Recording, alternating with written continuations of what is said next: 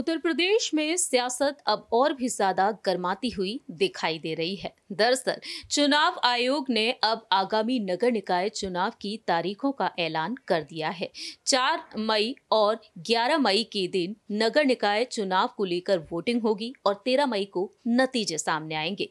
मैदान में इस वक्त कई ऐसे दल हैं जो उतर आए हैं। इन्हीं में शुमार है बहुजन समाज पार्टी। जी हाँ बहुजन समाज पार्टी जो उपचुनाव में उतरती हुई नज़र नहीं आई। लेकिन नगर निकाय चुनाव लिटमस टेस्ट की तरह माने जा रहे हैं। आगामी लोकसभा चुनाव के लिए साल 2024 में लोकसभा चुनाव होंगे और इन लोकसभा चुनाव के लिए नगर निकाय चुनाव को लेकर रणनीतियाँ बनाई जा रही हैं।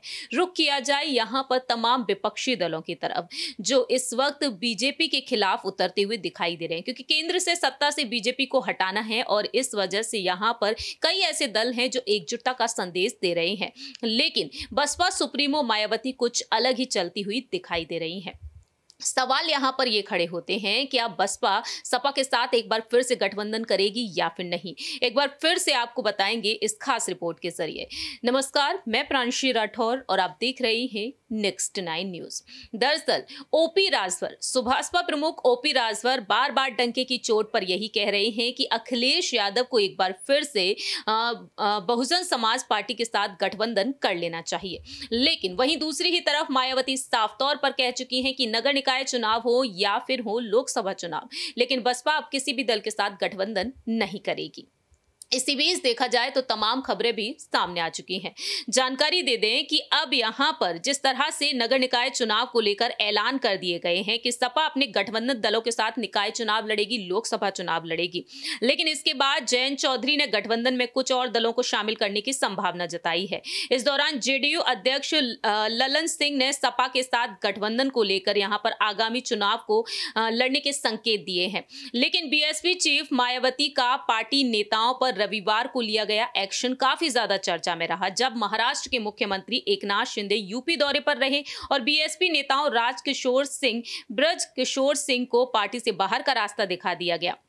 जिसका खामियाजा भुगतना पड़ा है एकनाथ शिंदे के करीबी होने के नाते। मायावती के इस फैसले पर जमकर सियासी बवाल मचा हुआ है। ऐसे में देखा जाए, बीजेपी गठबंधन में अब भी यहाँ पर असमंजस की स्थिति में बनी हुई है। छानवे और स्वार सीट पर गठबंधन किस दल से उम्मीदवार को उतारा जाएगा, ये स्पष्ट नहीं हो पाया है। और ऐसे में मायावती ने यहाँ पर इस फैसले को लेकर सियासत और भी तेज कर दी है। तो क्या यहाँ पर सपा गठबंधन को लेकर मायावती कुछ अलग फैसले ले सकती हैं? क्योंकि यहाँ पर मायावती ने तमाम संकेत भी दे दिए हैं। मायावती यहाँ पर तमाम संकेत देती हुई दिखाई दे रही है, क्योंकि अब गठबंधन को लेकर यहाँ पर उम्मीदें एक बार फिर से दिखाई देने लग गई हैं, लेकिन यहाँ पर मायावती भी स्पष्ट कर चुकी है। अब देखना होगा कि मायावती क्या अपनी रणनीतियों में बदलाव करेंगी या फिर नहीं। क्या वाकई में सपा और बसपा का गठबंधन एक बार फिर से हो सकता है? क्योंकि साल दो हज़ार उन्नीस में गठबंधन हुआ, लेकिन मायावती ने हाल ही में ये साफ़ किया कि अगर गेस्ट हाउस कांड ना हुआ होता तो शायद देश के केंद्र में ये गठबंधन राज कर रहा होता। देखना दिलचस्प होगा, क्या कांग्रेस पार्टी बीएसपी पार्टी यहाँ पर गठबंधन करती हुई नज़र आएगी या फिर समाजवादी पार्टी भी गठबंधन करेगी। इस खास रिपोर्ट में इतना ही। बाकी के तमाम अपडेट्स के लिए देखते रहिए नेक्स्ट नाइन न्यूज़।